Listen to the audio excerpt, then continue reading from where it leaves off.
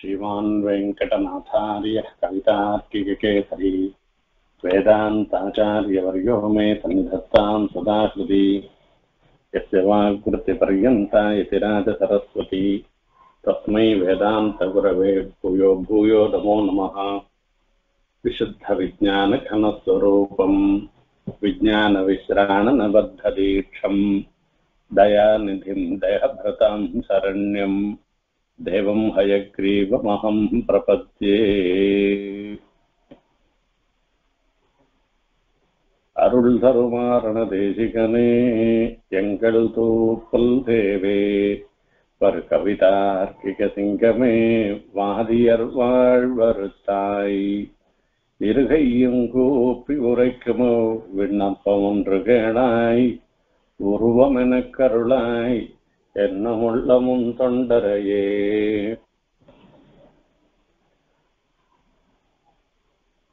சுவாமி தேசிகன் திருக்குமாரர் குமாரவரதாச்சார் சுவாமி சுவாமி விஷயமாக சாதித்த தேசிக பிரபத்தி என்கிற ஸ்தோத்திரத்துல இன்றைய தினம் நாம் மூன்றாவது ஸ்லோகத்தின் அர்த்தத்தை பார்க்க இருக்கின்றோம்.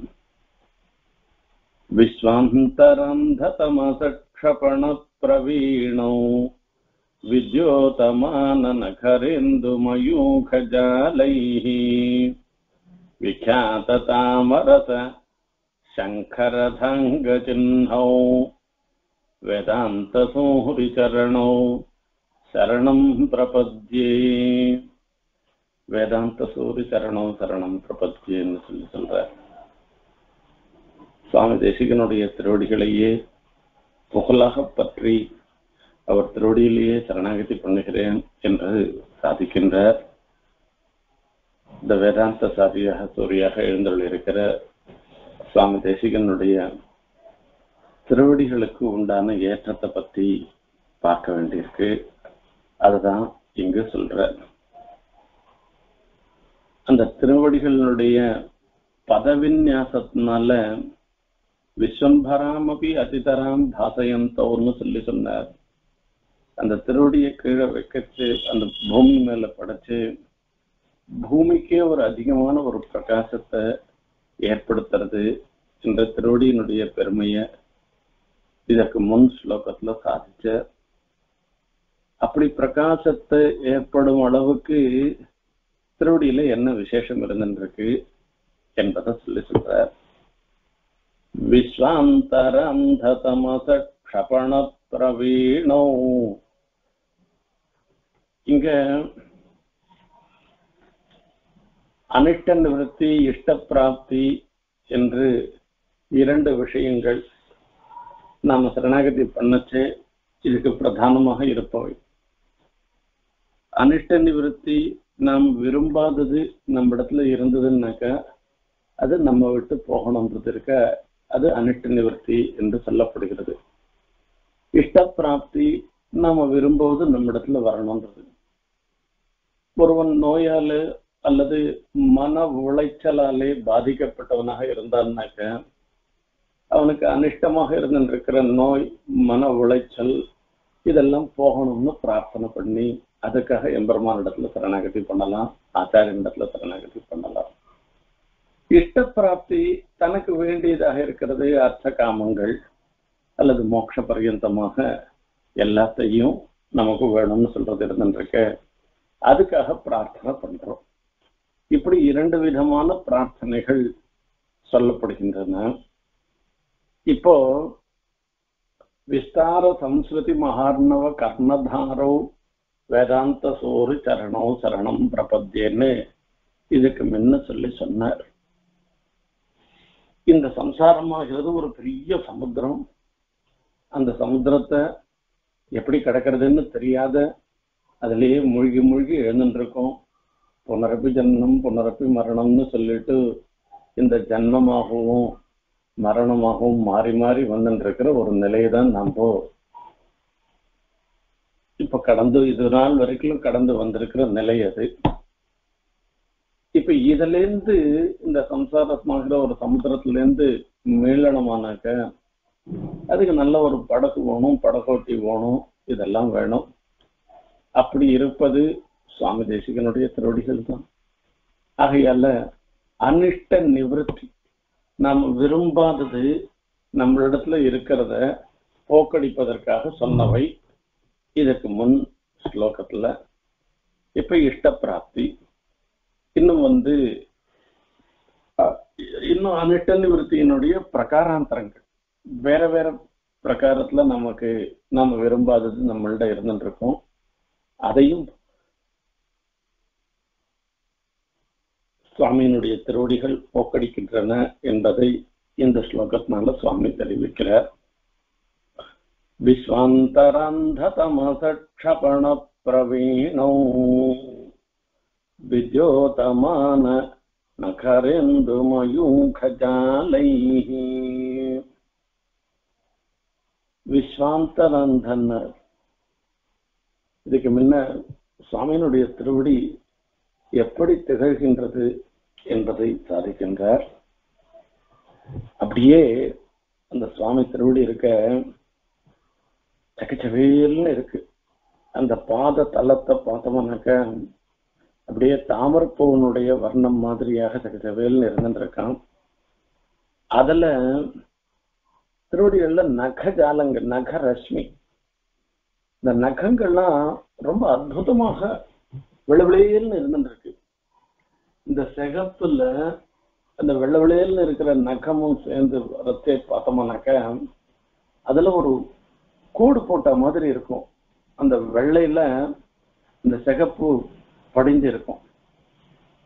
இப்ப பார்த்தோம்னாக்க சுவாமியினுடைய நகர்லேருந்து வழக்கு அதாவது நகர் ரஷ்மி வெளியில வரக்கூடியதாக இருந்திருக்கிற காந்தி சந்திரனுடைய காந்தியாக இருந்திருக்காங்க. வித்யோதமான நகரேந்து மயூகஜாலைஹி நகா ஏவ இந்த வகை. ஒரு சந்திரன் இல்ல பத்து சந்திரன் இருக்கு. பத்து திருவடியில பத்து விரலையும் பத்து நகங்கள் இருக்கின்றன. ஒவ்வொரு நகமுமே சந்திரன் மாதிரி அப்படியே பிரகாசிச்சுட்டு இருக்கிற அப்படினால அந்த பிரகாசிக்கிற அந்த நகர்மணு இதுல சந்திரனுடைய பிரகாசமும் சூரியனுடைய பிரகாசமும் என்று ரெண்டு பிரகாசமும் இருக்கு. சூரியனுடைய பிரகாசம்ன்றது சுட்டரிக்கிற மாதிரி இருந்துட்டு இருக்கும். சந்திரனுடைய பிரகாசம்ன்றது குளிர்ச்சியாக இருந்துருக்கும் வஸ்துவ வஸ்துவை இருட்டிலையும் நம்ம தெரிஞ்சுக்கிறதுக்கு சாதகமாக இருக்கக்கூடியது சந்திரனுடைய பிரகாசம். இப்படி இந்த சந்திரனுடைய பிரகாசம் மாதிரி பிரகாசமாக இருக்கின்றது. சுவாமி திருவடியில் இருக்கிற நகங்களுடைய பிரகாசம்னு சொல்ற வித்யோதமான நகரேந்து மயூக ஜாலைகி இந்த கிரணங்களுடைய ஒரு சமூகம். அந்த சமூகத்தினால இப்ப இதனால என்ன பலன் என்ன? எப்படி வேணா இருந்துட்டு போட்டோமேன்னு சொன்ன அது இல்லை. விஸ்வாந்தரந்த தமச க்ஷபண பிரவீணோ லோகத்துல இருக்கிறவா எல்லாருடைய ஆந்தராந்த தமச க்ஷபண பிரவீணம் அவ மனசுல இருந்துருக்கிற உள்ளே இருக்கக்கூடியதாக இருந்துருக்கிற அந்த தமசு. அந்த ஒரு காடமான தமசு இருந்துருக்க அந்த தமஸ போக்கடிக்கக்கூடியதாக இருக்குன்னு சொல்லி சொல்ற. இது யாரால முடியும்?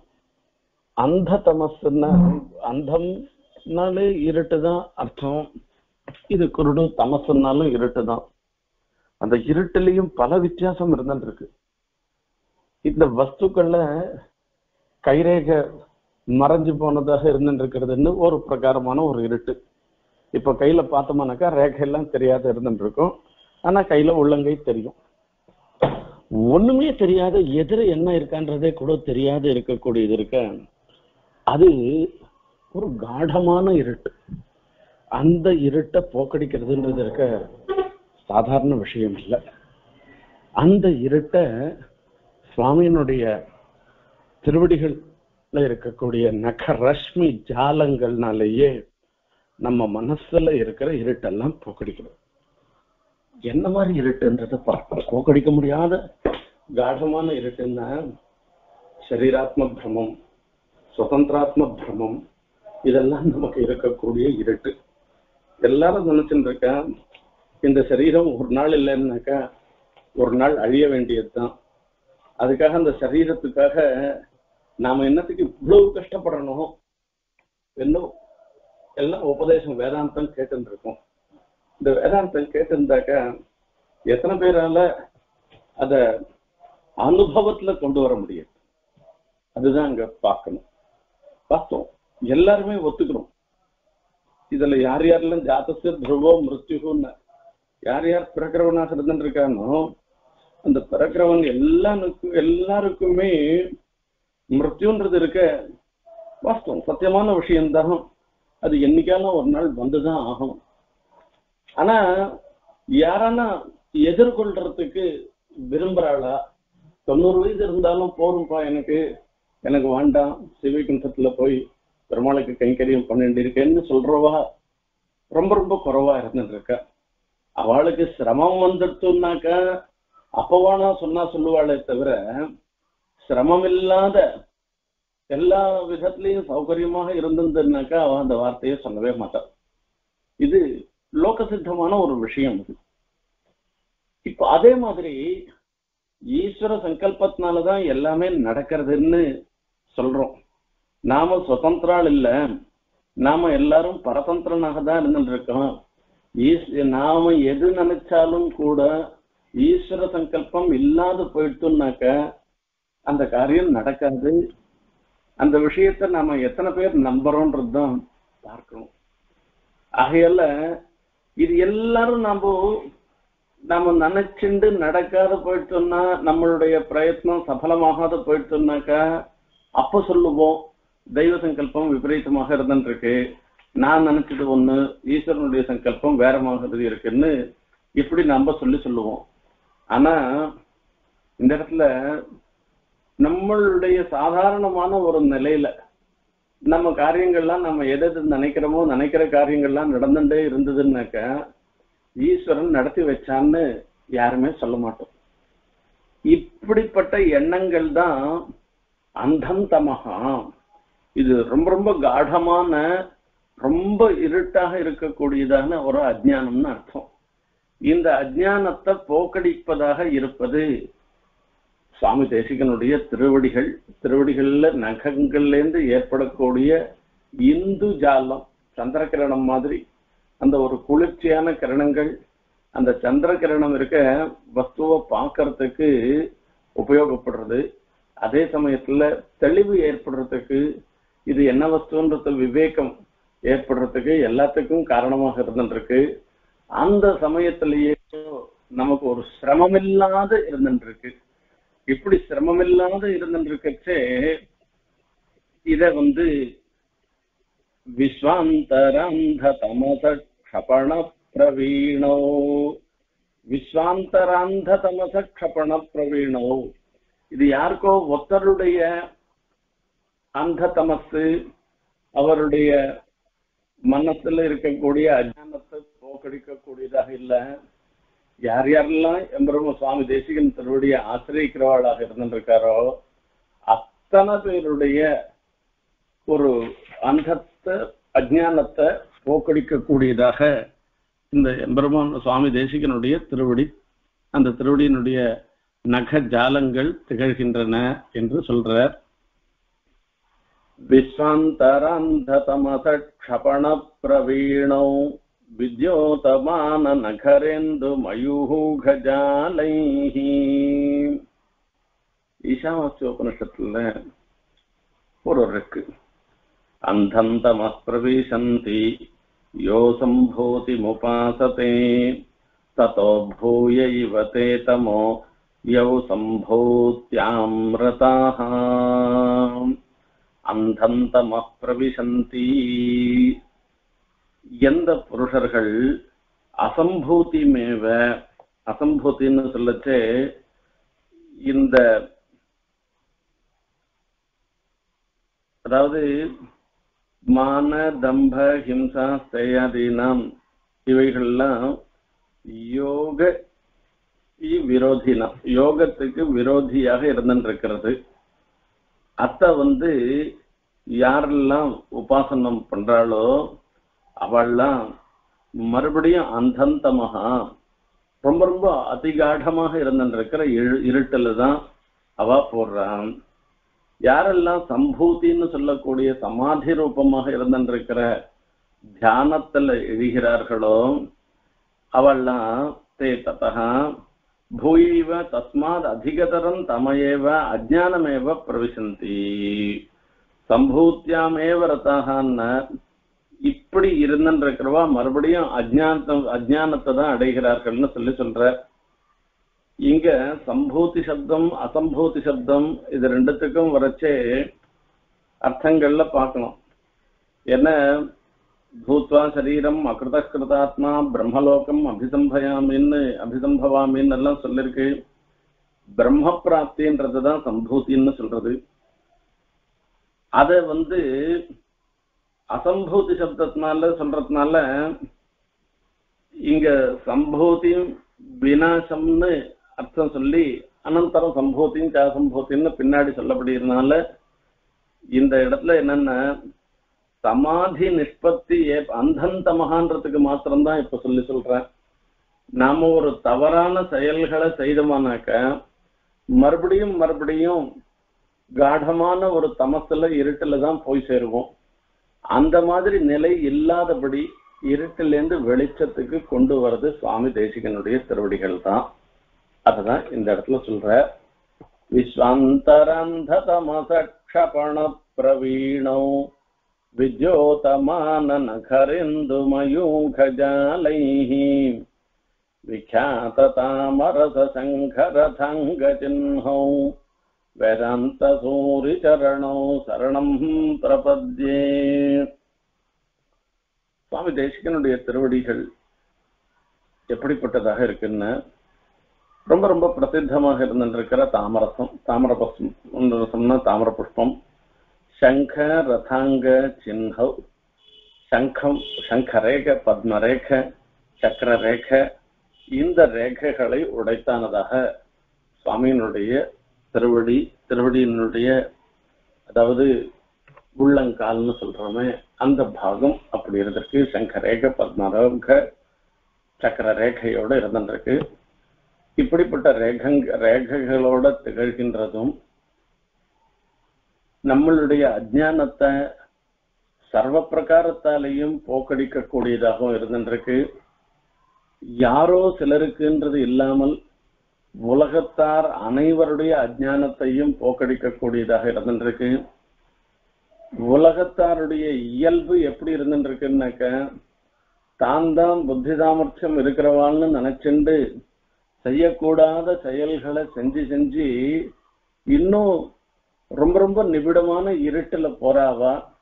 அப்படி போறவாளையும் கூட அவளுடைய நிலையிலேருந்து மாற்றி அவளுடைய அஜானத்தை போக்கடிச்சு அவளுக்கு நல்ல ஞானத்தை ஏற்படுத்தி அவளையும் அனுகிரகம் பண்ணக்கூடியதாக இருந்திருக்கிறது சுவாமியினுடைய திருவடிகள் தான் இந்த சுவாமியினுடைய திருவடிகளை ஆசிரியிச்சிட்டோமான போறோம். நமக்கு சகல க்ஷேமங்களும் ஏற்படும். நமக்கு விவேகம் ஏற்படும். எவையெல்லாம் செய்யக்கூடியவை எவை செய்யக்கூடாதவை என்ற அந்த விவேகம் வந்துடுத்துனாக்க போறோம். வேற எதுவுமே வேண்டாம். நாமளே செய்ய வேண்டியதை செய்ய போறோம் செய்யக்கூடாததை செய்யாமல் விட்டுற போறோம். அந்த விவேகம் ஏற்படுவதற்கு நமக்கு இருள் சூழ்ந்து இருந்துருக்கிற நமக்கு சுவாமியினுடைய திருவடிகள் தான் பிரகாசத்தை அது ஒரு குளிர்ச்சியான ஒரு பிரகாசம் சந்திரனுடைய பிரகாசம் மாதிரி பிரகாசங்கள். ஒரு சந்திரன் இல்ல வந்து பத்து சந்திரன்கள். இப்படி அந்த பத்து சந்திரன்களுடைய திருவடியில இருந்திருக்கிற பத்து நகங்கள்ல இருந்தும் வரக்கூடிய சந்திரகாந்தி மாதிரி இருக்கக்கூடிய காந்திகளுடைய சமூகங்களால நம்மளுடைய அஜானத்தை போக்கடிக்கிற அப்படிப்பட்ட சுவாமி தேசிகனுடைய திருவடிகளை சரணமாக பற்றுகிறோம். என்று இந்த ஸ்லோகத்தினால சொல்ற இங்க ஒரு விஷயம் எனக்கு ஒரு லௌகிக்கர் தான். அவர் சொன்ன ஒரு வார்த்தை அப்படியே மனசுல படிஞ்சது. அதை உங்களோட பகிர்ந்து கொள்ள விரும்புகிறேன். நாவல் பக்கத்துல ஐயா சுவாமி எழுந்தருள் இருந்த அவர் அங்க ரேடி திண்ணையில இருக்கும். அந்த திண்ணையில தான் சாதாரணமா எழுந்தருள் இருப்பார். இவர் சுத்த லௌகிக்க. இவருக்கு ஒண்ணுமே தெரியாது. ஏதோ யாரோ மேல இருக்கிறவா சொன்னா இது மரசமர்ப்பணம் பண்ணிக்கணும். இல்லைன்னா இந்த ஜீவனுக்கு ஒரு நல்ல வழி ஏற்படாது. இந்த மாதிரி புனரப்பி ஜனனம் புனரப்பி மரணம்ன்ற ஒரு நிலை தான் ஏற்படும் என்ன சொன்னா. சரி அதுக்கு மேல இவர் ரொம்ப அதை பத்தி கேட்டுக்கிறதுக்கெல்லாம் விரும்பல. இது ஆச்சாரியாளிடத்துல போய் தான் இதை பண்ணிக்கணும்னு சொல்ற சுவாமி ஐயா சுவாமி போய் சேவிக்கிறவர் அங்க ஒரு ரெண்டு மூணு பேர் இருந்தார். அவளோட அந்த கீழே உட்காந்துட்டு ஏதோ பேசிட்டு இருக்கார் சுவாமி ஏதோ அவளுக்கு உபதேசம் பண்றேன் அதெல்லாம் கேட்டுட்டு இருக்கு. அது முடிஞ்சிடுத்து அவருக்கு பரதமர்ப்பணம் ஆயிடுத்து வந்துட்டு ஒரு ஏழு எட்டு வருஷம் கழிச்சு நான் வந்து இந்த சுவாமியினுடைய படம் அதாவது சுவாமியினுடைய பிரதிமையோடு இருந்துருக்கிற போட்டோவோட இருந்துருக்கிற ஒரு பத்திரிக்கை சுவாமியினுடைய நூறாவது திருநட்சத்திர பத்திரிக்கை அது. அதை கொண்டு போய் கொடுத்தேன் நான். இந்த மாதிரி சுவாமிக்கு நூறாவது திருநட்சத்திரம் வருது அவசியம் எல்லாரும் வரணும்னு சொல்லி சொன்னேன் நான். அப்போ அந்த பத்திரிகையை திருப்பி திருப்பி திருப்பி திருப்பி அதையே பார்த்துருந்து. சுவாமியினுடைய ஃபோட்டோ எல்லா இடத்துலயும் இருக்கிற அதே போட்டோ தான் போட்டிருந்து.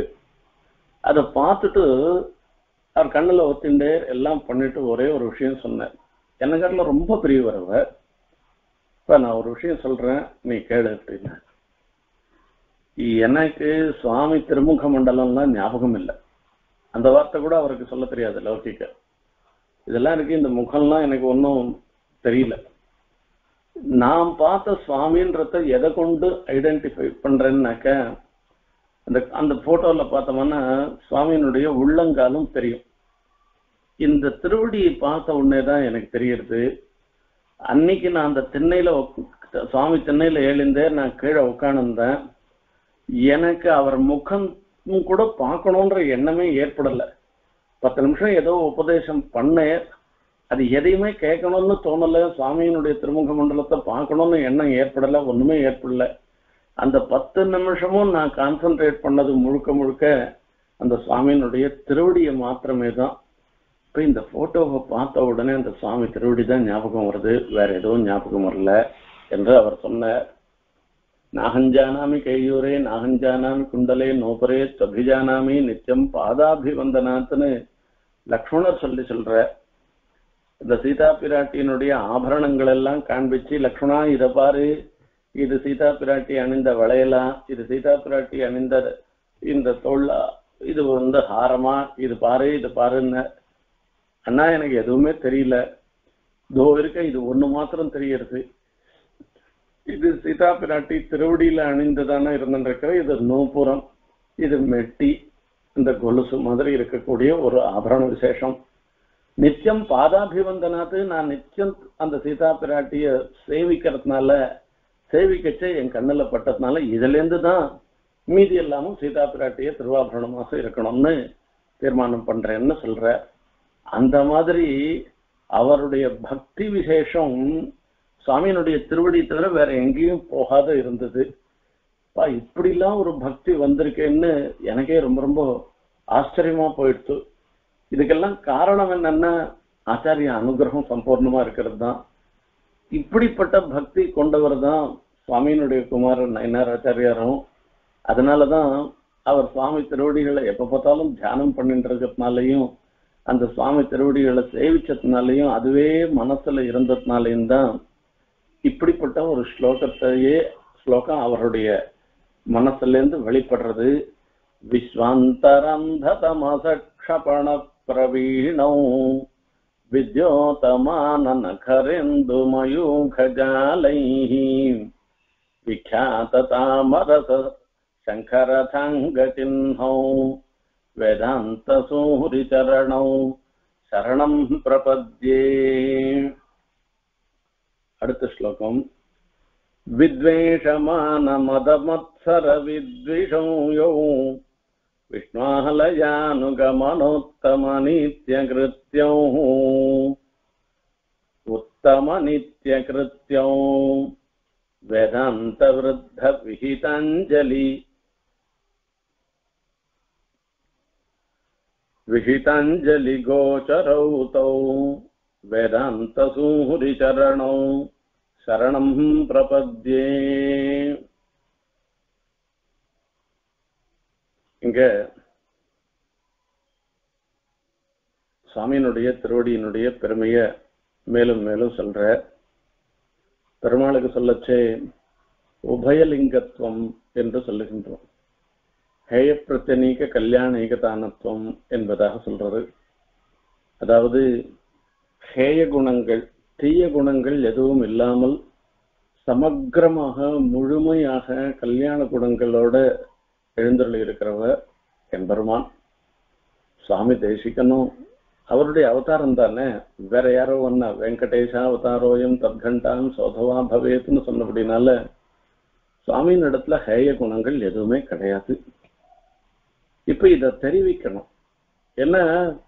மனுஷனாக கிருத்வாம் அத்தியமையின் தனும்னு சொல்லி சொல்ற சாட்சாத் சிவன் நாராயணனே ஒரு மனுஷனாக அவதாரம் பண்ணி இந்த இடத்துல நம்மள மாதிரி மக்னான் உத்தரத்தைன்னு காருண்யா சாஸ்திரபாணினான்னு நம்மள மாதிரி இந்த சம்சாரத்திலேயே மூழ்கி மூழ்கி போயிட்டு இருக்கிறவாளை அவளுக்கு உத்தரணம் பண்ற அவளை தூக்கி விடுற தன்னுடைய கருணைனால சாஸ்திரபாணினான்னு சாஸ்திரமாகிற ஒரு திருக்கைகளாலே ஆச்சாரியெல்லாம் நம்மள தூக்கி விடுறான்னு சொல்ற இதெல்லாம் பிரமாணங்கள் புராணங்கள்ல சொல்லப்படுகின்றன இதிகாசங்கள்ல ஸ்மிருதிகள்ல சொல்லப்படுகின்றன. இப்படி ஆச்சாரியர்கள்லாம் நமக்கு செய்யக்கூடிய சகாயங்களை. ஆச்சாரியாளன் நாம பார்க்கச்சேயே எப்படிப்பட்ட ஆச்சாரியாலா பார்க்கணும்னாக்க ஹேய குணம் இல்லாமல் கல்யாண குண பூர்த்தியோட எழுந்துள்ள இருக்கிற ஆச்சாரியர்கள் தான் சுவாமி தேசிகன் அந்த மாதிரி எழுந்துள்ள இருக்க சுவாமியின் இடத்துல எந்த ஹேய குணமும் இல்லையாம். சாதாரணமா எல்லாரிடத்துலயும் இருக்கக்கூடியது அதுவும் வித்வான்களிடத்துல இருக்கக்கூடியதெல்லாம் சில ஹேய குணங்களை குறிப்பிட்டு அந்த குணங்கள்லாம் சுவாமியின் இடத்துல சுவாமி தேசிகன் இடத்துல இல்லைன்றத தெரியப்படுத்துற வித்வேஷமான மத மத்சர வித்விஷௌ வித்வேஷம் இந்த வித்வேஷம்னாக்க அதுக்கு வியாக்கியானம் பண்ணச்சே நிர்வியாஜ வைரம்னு சொல்ற. அதாவது துவேஷம் ஒருத்தருக்கு ஒருத்தர் துவேஷம் வருது. துவேஷம் வரச்சே எப்படி வருதுன்னாக்க ரெண்டு பேருக்கும் ஒரு சமானமான ஒரு சான்ஸ் இருந்துருக்கு. அதுல எனக்கு வர வேண்டியது அவனுக்கு வந்துடுத்து. அப்ப சொன்னாக்க அது ஏதோ ஒரு காரணம் இருந்து அதுக்கு ஒரு துவேஷம் வரலாம். காரணமே இல்லாத சில பேர் இடத்துல நமக்கு துவேஷம் வரும். அதுதான் வித்வேஷம்னு சொல்லி சொல்ற. நிர்வியாஜ வைரம். அவளுக்கு நமக்கு என்ன இருந்துருக்கு? ஒண்ணுமே இல்லை. இப்பெல்லாம் நாம அனுபவிச்சுட்டு இருக்கோம். நாம சில சமயங்கள்ல ஸ்வரூபத்தோட தெருவில் நடந்துட்டு போயிட்டு இருக்கோம். நடந்துட்டு போன உடனே சில பேருக்கு நம்மளை பார்த்த உடனே பரிகாசம் பண்ணோன்னு தோன்றது நம்மளை ஹேளனம் பண்ணோன்னு தோன்றது அவளுக்கு. அவளுடைய கர்மா அவளை சொல்லி பிரயோஜனம் இல்லை. அதனால சில ஜனங்கள் என்ன பண்றதுன்னா ஒரு கல் எடுத்து அடிக்க கூட அடிக்கிறது. இவன் மேல பட்டுட்டு ஐயோ கல் அடிக்கிறதுன்னு பயந்துட்டு ஓடுறத பார்த்த உடனே அதுக்கு ஹஹான்னு ஒரு சிரிப்பு சிரிச்சுண்டு இவனை ஓட்டிட்டோம் பாத்தியா? இவனை இது பண்ணிட்டோம் பாத்தியா? இவனை பயமுறுத்திட்டோம் பாத்தியான்னு சொல்றவாளும் இருந்துட்டு இருக்கா அவன் நாம என்ன பண்ணிட்டோம்? நம்மள்ட என்னத்துக்கு அவனுக்கு ஒரு கோபம் வருது துவேஷம் வருதுன்னா நிர்வியாஜ வைரம். அதுதான் வித்வேஷம்னு சொல்றது. ஒரு வியாஜமும் இல்லை. ஒரு காரணமும் இல்லை. அவன் சொத்தை நம்ம எதனா எடுத்துட்டோமானாக்கா சரி ஏதோ பண்ணா அதனால நமக்கு தோஷம். அவனுக்கு வரக்கூடியது நாம வரவிட்டாத பண்ணி ஏமாத்திட்டோமானாக்கா அப்ப நம்மள்ட ஒருத்தன் பேசப்படுறதுல அர்த்தம் இருந்துட்டு இருக்கு அந்த மாதிரி எதுவுமே இல்லாத ஒருத்தனிடத்துல துவேஷப்படுறதுன்றது இருக்க இதுதான் வித்வேஷம் என்று சொல்லப்படுகிறது. வித்வேஷமான மானம். நமக்கு ஒரு கொஞ்சம் ஒரு ரெண்டு பேர் நம்மளை பார்த்து கை கூப்பிட்டா போறோம். நாம பெரிய சுவாமியாட்டம் ஒரு புத்தி வந்துடும் நமக்கு. அதோட இல்லாத மூன்று விஷயங்கள்ல நமக்கு கர்வம் வரும். பிறப்புனால ஒரு கர்வம் செல்வ செழிப்புனால ஒரு கர்வம் வித்யினால ஒரு கர்வம். இப்படி மூன்று விஷயங்கள்ல நமக்கு கர்வம் வரத்துக்கு ஒரு பிரசக்தி இருக்கு. மொழியை கடக்கும் பெரும் புகழான் வஞ்சமும் குறும்பாம் நம் புறத்தாழ்வான் மொழியை கடக்கும் பெரும் புகழான் வஞ்சமு குறும்பாம் என்பது முக்குறும்புன்னு சொல்றது. கூரத்தாழ்வார் ராமானுஜனுடைய சிஷ்யர் அவருடைய பெருமையை அமுதனார் சொல்ற வஞ்ச முக்குறும்புன்னு சொல்லச்சே அபிஜாத மதம் அதாவது பிறப்பினால ஏற்பட்ட மதம் அதுக்கப்புறமா வித்வத்தினால ஏற்பட்ட மதம் மூன்றாவது செல்வ செழிப்பினால ஏற்பட்ட மதம். இந்த மூணு மதங்களும் மூணும் அவருக்கு இருக்கலாம். மூணையும் விட்டு ஒழித்தவர் அவர் என்று சொல்லணும். என்னன்னா அவர் பெரிய ஞாதா இருந்தாலும் கூட பாஷக்காருக்கு எதிர தான் எதுவுமே தெரியாத மாதிரி தான் அவர் இருந்தேன். அவர் பெரிய தனி பெரிய பணக்காரர். அந்த காஞ்சிபுரம் பக்கத்துல இருந்து கூரன்ற ஊர் ஒரு பத்து கிலோமீட்டர்ல இருக்கு. அந்த ஊர் முழுக்க அவரது தான் அத்தனை பாகவதர்கள் யார் யாரெல்லாம் பெருமாள் கோவிலுக்கு வந்து பெருமாளை சேவிக்கிறதுக்கு அந்த வேற வேற விதேசங்கள்ல இருந்து வராளோ அத்தனை பாகவதர்களையும் ஆராதனம் பண்ணினவர் கூறத்தாழ்வான் ஆகையால அந்த செல்வச் செழிப்பு அவர் தங்க தட்டுல அவர் சாதம் சாட்டிருந்தவர் ஆகையால அவருடைய செல்வ செழிப்பை பத்தி சொல்ல வேண்டிய அவசியமே இல்லை. ஆபிஜாத்தியம் உயர்குடி பிறப்பு அதுல ஒன்றும் சந்தேகம் என்ன? இப்படி எல்லாம் இருந்தா கூட எந்த அம்சத்திலையும் தன்னை சிறந்தவனாக உயர்ந்தவனாக எப்பவுமே காண்பிச்சுக்காது இருந்தேதான். அதுதான் இந்த இடத்துல ஒரு சுவாரஸ்யம். இப்போ வித்வேஷமான மானம்ன்றது அபிஜித்யாதி பிரயுக்தமாக இருந்திருக்கிற மனசுல ஏற்படக்கூடிய ஒரு விகாரம் மாறுபாடு. இந்த மாறுபாட்டை தான் சொல்லி சொல்ற. சுவாமி தேசிகனுக்கு அவருக்கு அவருக்கு சர்வதந்திர சுதந்திரம் பிருதம். அதே தேசிகனுக்கு விஸ்வாமித்திர குலோத்பூதர் அந்த விஸ்வாமித்திர வம்சத்துல பிறந்தவர் அவர். அதனுடைய பெருமைய அவரே சங்கல்ப சூரியோதயத்துல சொல்றார். அதை பத்தி பார்க்கணும். செல்வம் ஒண்ணும் கிடையாது. செல்வத்தினால அவருக்கு மதம் வந்திருக்கா என்ன கேட்டேன். தேஷாம் பூமேர் தனபதி கிரகாத் அம்பராத் அம்புதேர்வா தாரா நெறியாந்த் அதிகம் அதிகம் வாஞ்சிதானாம் வசூனாம்னு சொல்ற யாரோ ஒரு பிரம்மச்சாரி வேணும்னு கேட்டாலே கூட அவருக்கே செல்வத்தை கொடுக்கிறவராக சுவாமி எழுந்தருள் இருந்தாருனாக்கா தனக்கு வேணும்னு கேட்டாக்க சுவாமிக்கு வராதையா போயிடும். எப்பேற்பட்ட செல்வ செழிப்பு எல்லாம் அவருக்கு வந்துடும். ஆனா அவர் அதை பிரார்த்திக்கல. அது வேணும்னு அவர் எப்பவுமே நினைக்கல. அதனால அவருக்கு அந்த செல்வத்துல பத்தி அவருக்கு இஷ்டமே இல்லாத இருந்துருக்கு வித்யாரண்யர் அவரை கூட்டு நீர் வந்து இங்க ராஜசபைக்கு வரணும். உமக்கு எல்லா விதமான சிறப்பும் வரும்னு. இதுல இருந்தே ஏற்படுறது அவருடைய வித்யினுடைய ஒரு கௌரவம். அவர் எவ்வளவு பெரிய ஞாத்தான்றதுல ஏற்படுறது. இப்படி எல்லாம் இருந்தும் கூட ஆனா தன்னை வந்து சொல்லிக்கவே இல்லை. இப்படி எல்லாம் தான் இவ்வளவு பெரிய செல்வ செழிப்போட இருந்துட்டு இருக்கவ வித்யோட இருந்துட்டு இருக்கிறவன்னா தாசானுதாசன் பாகவதர்களுக்கெல்லாம் தாசனாக தாம் இருக்கோன்றதுதான் அவர் சொல்லிட்டு இருக்காரே தவிர வேற எந்த அம்சத்திலையும் தன்னை உயர்த்தியாகவே சொல்லிக்கவே சொல்லிக்கல. இதுல இருந்தே நமக்கு தெரியறது இந்த மானம்ன்றது துளியும் இல்லாதவர் மானம்ன்றது என்னன்னா? மதம். அந்த ஆபிஜாத்தியத்தினாலேயோ அல்லது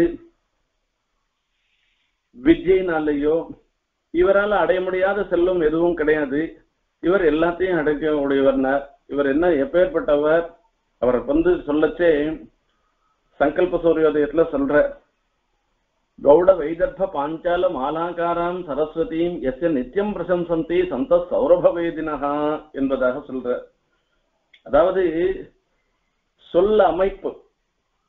அதுல கௌடம் வைதர்பியம் பாஞ்சாலம்ன்றது மூன்று வகை இருந்துருக்கு இதுல கரடு முரடாக சொல்றது இருந்துருக்க அது கௌடம். அந்த மிருதுவாக இருந்துருக்கிற மென் சொடர் சொல்களை சொற்களை சொல்லி சொல்றது இருக்க அது பாஞ்சாலம். நடுத்தரமானது வைதர்பம் அந்தந்த ரசத்துக்கு ஏற்ப அந்த சொற்றொடர்கள்லாம் சொற்கள்லாம் அமையணும். அந்த மாதிரி சுவாமி தேசிகனாலதான் இப்படி பண்ண முடியும். ஆகையால இவரை பார்த்து இவ்வளவு பாண்டித்யம் இருந்தும் கூட துளி கூட கர்வம் இல்லாத இருந்துருக்கேரேன்னு சொல்லி அவரிடத்துல ஒரு பெரிய எல்லாருக்குமே ஒரு கௌரவம் இருக்குன்னு சொல்லி சொல்றார். அங்கேயே சங்கல்ப சூரியோதயத்துல ஆரம்பத்துல சொல்றார் சுவாமி தேசிகனை பத்தி அஸ்தி கலு சமஸ்தலோக சம்பாவனீயஸ்ய விஸ்வாதிசாயினோ விஸ்வாமித்ர கோத்திர பூஷணஸ்ய விசுத்த வித்யாவாக விஹார புண்டரீகஸ்ய पुण्डरीकाक्षसोमसुत्सम्भवस्य சோமசுத் சம்பவஸ்ய அனந்த குண அனந்த அந்த பிறப்புக்கு உரைச்சே சிறப்ப சொல்றார். விஸ்வாமித்ர கோத்திரத்தை சொல்றார் அந்நேந்திரகம் புவனமன்யத் அனீந்திரகம் வா கட்டும் க்ஷமே கவிரபூதயம் அன்பவாயேன்னு இவர் எந்த கோத்திரத்துல பிறந்தவர்னு வேற ஒரு இந்திரனை நான் சிருஷ்டி பண்றேன் நானு இல்ல இந்திரனை இல்லாதவனா பண்ணிடுறேன் நானுன்னு அப்படிப்பட்ட சாமர்த்தியத்தோடைய விஸ்வாமித்திரருடைய கோத்திரத்துல அவர் அவதாரம் பண்ணேர்னாக்க அந்த பிறப்பினுடைய பெருமையை என்னன்னு சொல்றது நம்ம அது பிறப்புக்கு இருக்கு. ஸ்ரீரங்கராஜ திவ்யாஜ்ஞாலப்த வேதாந்தாச்சாரிய பதா கவிதாத்கிக சம்ஹிதி இது பிரக்யாத குண சமாக்கியா என்று சொல்ற அந்த ரங்கநாதனுடைய திவ்யாஜ்ஞையினால இவருக்கு வேதாந்தாச்சாரியன்ற ஒரு பதம் விசேஷமான பதம் கிடைச்சது. அதோட மாத்திரமில்ல தத் சகதர்மச்சாரிணியாக அந்த ரங்கநாயகி தாயாருடைய அனுகிரகத்தினால சர்வதந்திர சுதந்திரன்ற ஒரு பிருதம் இவருக்கு கிடைச்சது. இவ்வளவும் கிடைச்சதுனால இவ தன்னுடைய வித்யா விஷயத்திலையும் தன்னுடைய பிறப்பு இது எந்த எப்பேற்பட்ட மிக உயர்ந்த குலத்துல பிறந்திருக்கோன்ற இந்த விஷயத்திலையும் எவ்வளவு கர்வமாக இருக்கலாம். அவர் ஆனா அந்த கர்வம் எதுவும் இல்லாதவராக இருந்திருக்கேன்றதுதான் இப்ப சொல்ல. வித்வேஷமான மதஹா. மதம்ன்றது என்னன்னா சில சமயங்கள்ல நமக்கு பணம் வந்துடுத்து பணம் காசு வந்துடுத்துன்னா சரி அதனால வரக்கூடிய சித்தத்துல வரக்கூடிய மாறுபாடு. ஏழையா இருக்குச்சே இருந்த நிலை வேற. பணக்காரனா போயிட்டோம்னாக்கா கீழே குனிஞ்சே பார்க்க மாட்டோம். மேலேயே பார்த்துட்டு போவோம். இதுதான் மதம்னு சொல்லி சொல்றது.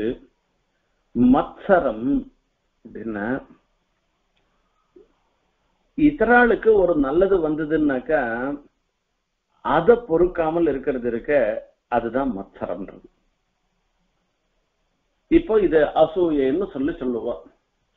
அதாவது தோஷமே இல்லாதவர்களிடத்துல தோஷத்தை சொல்றது.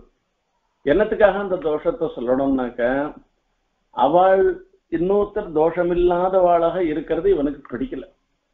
ஆகையால இவாளிடத்துல போய் ஒரு தோஷத்தை சொல்றது அந்நிய சுபம் அசலாருக்கு வரக்கூடிய சுபத்தை பார்த்து நமக்கு துவேஷம் வருதுன்றது அர்த்தம். இப்போ வித்வேஷ மான மத மத்சர வித்விஷவும் இவைகளுக்கெல்லாம் இந்த நாலுத்துக்கும் அதுக்கு துவேஷியாக இருந்துருக்காருன்னு அர்த்தம். சத்துருக்களாக இருக்காருன்னு அர்த்தம். என்ன அர்த்தம்? சுவாமி தேசிகன் இடத்துல துவேஷம் கிடையாது அகங்காரம் கிடையாது அந்த வித்யா மதம் கிடையாது தன மதம் கிடையாது பிறப்பு உயர்குடி பிறப்புனால வந்த ஒரு பெரிய கர்வம் கிடையாது. பிறருக்கு நல்லது ஏற்படுறத பார்த்து அதுல அதுல அசூயப்படுறதுன்றது பொறாமப்படுறதுன்ற குணம் கிடையாது. இப்படி இதே மாதிரி இன்னும் என்னென்ன கெட்ட குணங்கள் என்று சொல்லப்படுகின்றவையோ அது எதுவுமே சுவாமி தேசிகன் இடத்துல கிடையாதுன்றது தான் இந்த இடத்துல சொல்லி சொல்ற இதுல டம்பம் முதலியவெல்லாம் எடுத்துக்கணும். இந்த கெட்ட குணங்களுக்கெல்லாம் எதிர்த்தட்டாக சுவாமி எழுந்தருள் இருந்தார் என்பதை சொல்லுகின்றார். வித்வேஷமான மத மத்சர வித்வேஷௌ விஷ்ணாலயானுகமனோத்தம நித்திய கிருத்தியௌ ஒவ்வொருத்தர் தைனந்தினிக்கமாக நித்தியமாக சில சில காரியங்களை பண்றதுன்னு வச்சுட்டு இருப்பா அப்போ சுவாமி தேசிகன் நிச்சயமாக செய்ய வேண்டிய சில காரியங்களாக வச்சுருக்கிறதுல என்னன்னு கேட்டேன் பிரதானமானது விஷ்ணாலயானுகமனோத்தம நித்திய கிருத்தியம் அச்சாமூர்த்தியாக எழுந்தருள் இருக்கிற எம்பெருமான சேவிக்கிறது. விஷ்ணுவனுடைய ஆலயம் கோவிலுக்கு போய் பெருமாளை சேவிச்சுட்டு வர்றது போய் நிச்சயமான வழக்கமாக இருந்திருக்கு வச்சிருந்தேர்னு சொல்லி சொல்ற இது ரொம்ப பிரதானமான ஒரு விஷயம் இது. என்ன?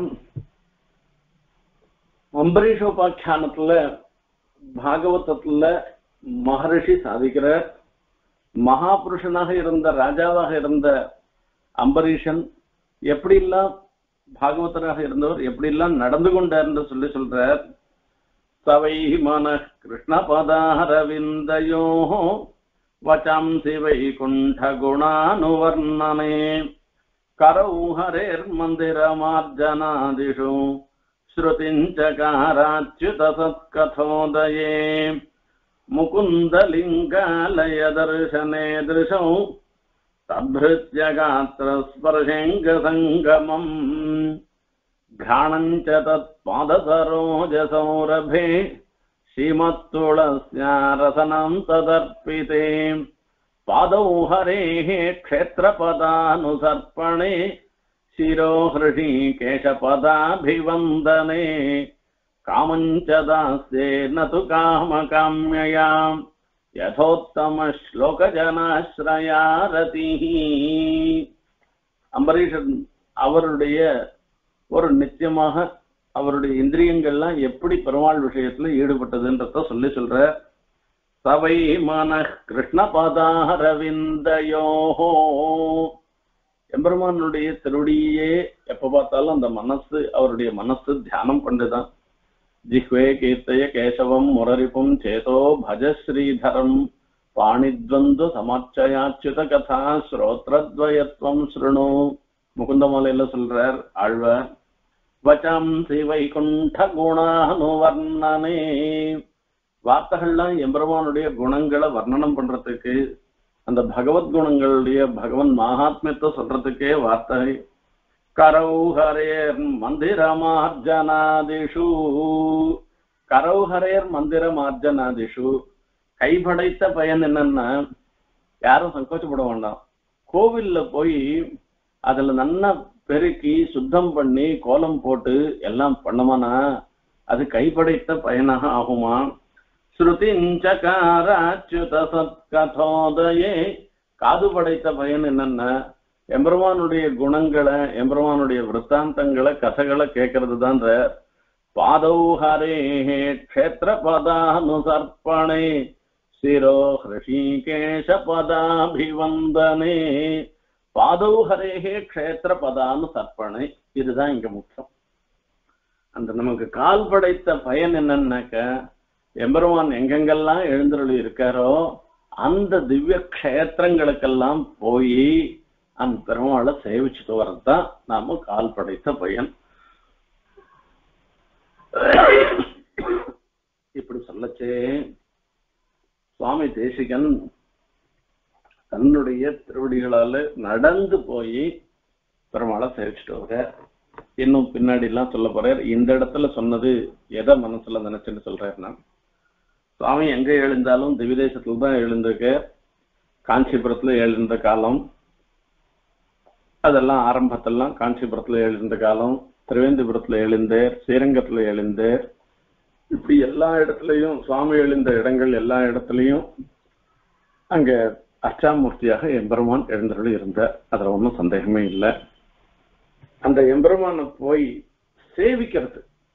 அதுக்காக தான் விஷ்ணாலயானுகமன உத்தம நித்திய கிருத்வ கிருத்தியம் எம்பெருமானுடைய விஷ்ணுவாலயம் அந்த பெருமாளுடைய கோவில் இருந்துருக்கு அதுல அனுகமனம் அதை அனுச்சேது அதாவது ஏதோ ஒரு நாள் கோவிலுக்கு போயிட்டு வருதுன்றது இல்லாத நித்தியமா போயிட்டு அந்த பெருமாளை சேவிச்சுட்டு வருதுன்றது இருக்க அது உத்தமமான ஒரு சிரேஷ்டமான நித்திய கிருத்தியம்.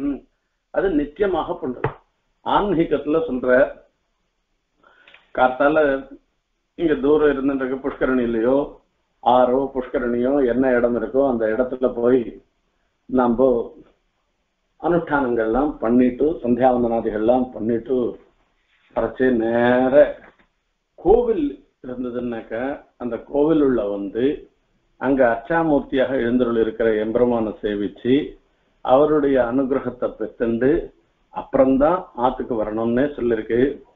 இங்க சுவாமி தேசிகனுடைய தினச்சரியையில வரைச்சே இதை பத்தி மறுபடியும் சொல்ல போறேன் இங்க பிரகிருத்தத்துல சொல்றேன் நானு.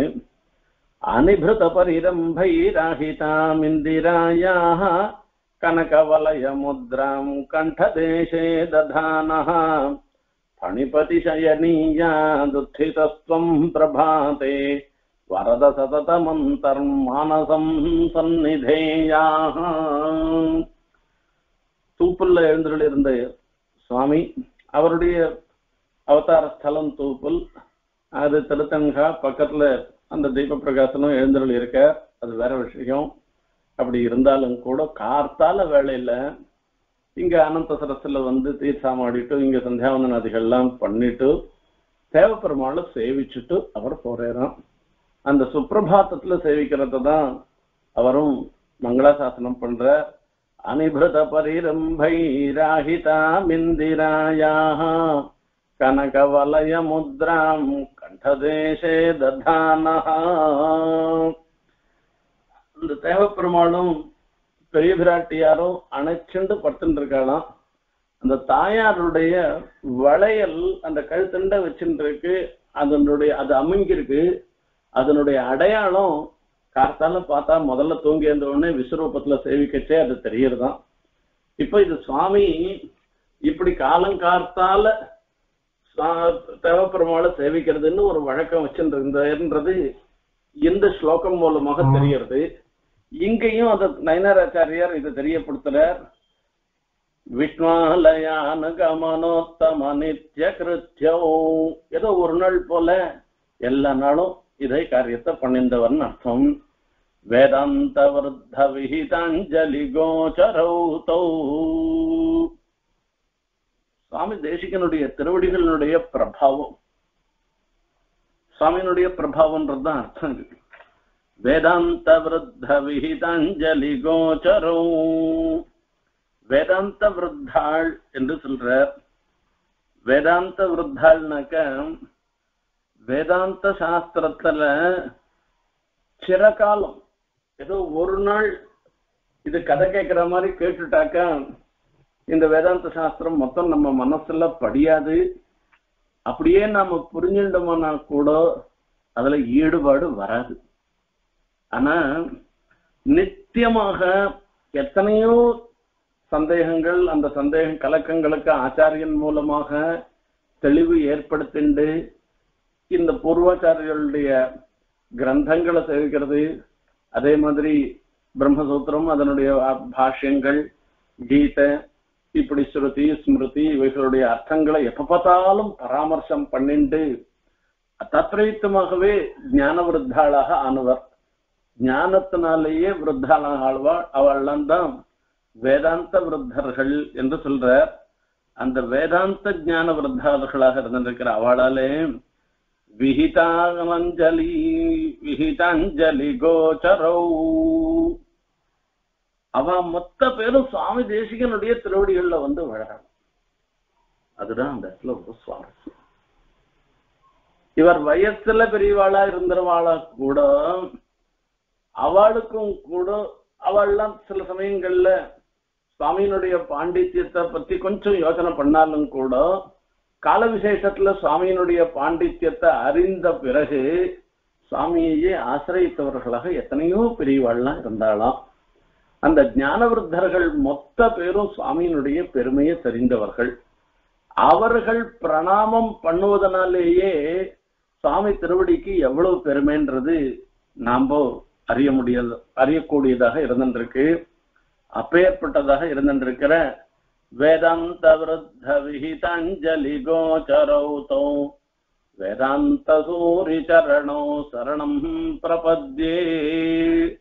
சுவாமி தேசிகனுடைய திருவடி தாமரகளை சரணமாக அடைகிறேன் என்பதாக இந்த ஸ்லோகத்தினால நயனராச்சாரியா பிரார்த்தனை பண்ற இந்த ரெண்டு ஸ்லோகங்கள் விஸ்வாந்தராந்த தமசக்ஷபண பிரவீடம்ன்றதும் வித்வேஷமான மதமத்சர வித்வேஷ வித்விஷவ்யோன்னு ஆரம்பிக்கிற இந்த ரெண்டு ஸ்லோகங்கள்லயும் சொல்லப்பட்ட விஷயங்களுடைய சாரம் என்னன்னு கேட்டோம்னாக்க சுவாமியினுடைய திருவடிகள் தான் நம்மளுடைய அஜ்ஞானத்தை போக்கடிக்கக்கூடியவை. அந்த தெளிவை ஏற்படுத்துறதுலயும் ஒரு சுவாரஸ்யம். நம்மளை பயப்படுத்தி அந்த தெளிவை ஏற்படல சந்திரகாந்தி மாதிரி இருந்துட்டு அந்த ஒரு குளிர்ச்சியான சுவாமியினுடைய கட்டாட்சத்தினால நமக்கு அஜ்ஞானம் நீங்கி நமக்கு யதாவஸ்திதமான உண்மையான ஞானம் நமக்கு ஏற்படுறது.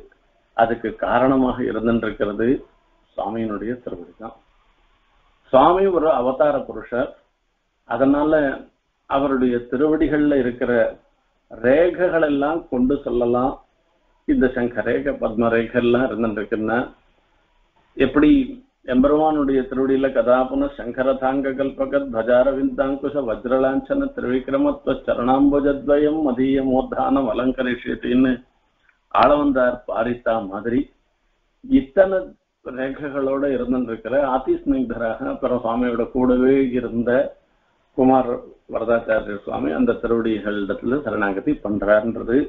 முதல் ஸ்லோகத்தினால ஏற்படுறது ரெண்டாவது ஸ்லோகத்தினால ஹேய குணங்கள் தீய குணங்கள்னு சொல்லக்கூடிய வித்வேஷம் மானம் மதம் மத்சரம்னு சொல்றது இருக்க. அகங்காரம் துவேஷம் இதனால வர கர்வம் அப்புறம் அசூய இது எதுவுமே சுவாமியின் இடத்துல கிடையாது. ஹேய குணங்கள் இல்லாததோட மாத்திரமில்ல. கல்யாண குணங்கள் எல்லாத்த காட்டிலும் முக்கியமாக அர்ச்சாவதாரத்துல இருக்கக்கூடிய ஈடுபாடு சுவாமி தினமும் அர்ச்சாமூர்த்தியை சேவிச்சுட்டு வந்தேன்றதுக்கு சில பேர் வேதாந்தத்துல ஈடுபடுறவா இருப்பா. ஆனா அர்ச்சாமூர்த்தியை சேவிக்கிறவாளாக இருக்க மாட்டா. அப்படி இல்லாத அர்ச்சாமூர்த்தியிலையும் ஈடுபாடோட எழுந்தருளி இருந்தவர் சுவாமி தேசிகன். அந்த சுவாமி தேசிகனுடைய பெருமைய பலானுமையா பிராரம்பாகன்னு சொல்லி சொல்ற இவன் ஒருத்தன் நன்னா பரிசிரமப்பட்டானா இல்லையான்றத எப்படி தெரிஞ்சுக்கிறதுன்னாக்கா கஷ்டமான பரீட்சையில இவன் பாஸ் பண்ணினான்னாக்கா இவன் ரொம்ப கஷ்டப்பட்டு நன்னா வாசிச்சிருக்கான்னு அர்த்தம். இந்த பலத்தை கொண்டு இவனுடைய பிராரம்பம் இவனுடைய முயற்சியை நாம அனுமானம் பண்ணலாம். அந்த மாதிரி இந்த இடத்துல இத்தனை ஞானவருத்தர்களும் சுவாமி தேசிகனுடைய திருவடிகளை வணங்குவதனாலேயே சுவாமி தேசிகனுக்கு இருக்கக்கூடிய ஏற்றத்தை நாம எல்லாரும் புரிஞ்சுக்க முடியறது. அப்பேற்பட்ட சுவாமி தேசிகனுடைய திருவடிகளை சரணமாக பற்றுகிறேன் என்று இந்த இடத்துல நயனாராச்சாரியர் சாதிக்கிற அப்படிப்பட்ட சுவாமியினுடைய திருவடிகள் தான் நமக்கும் புகழ். அதில் ஒன்றும் சந்தேகமே இல்லை. அந்த சுவாமியினுடைய அனுகிரகத்தையே நாம் மீண்டும் மீண்டும் பிரார்த்தித்தென்று விடைபெறுகிறேன். கவிதார்க்கிக சிம்ஹாய கல்யாண குணசாலினே ஸ்ரீமதே வெங்கடேஷாய வேதாந்த குரவே நமகா